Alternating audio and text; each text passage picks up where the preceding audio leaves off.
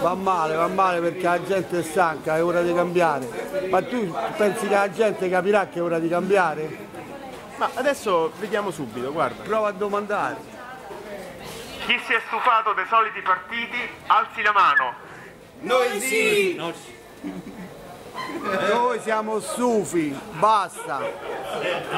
E tu?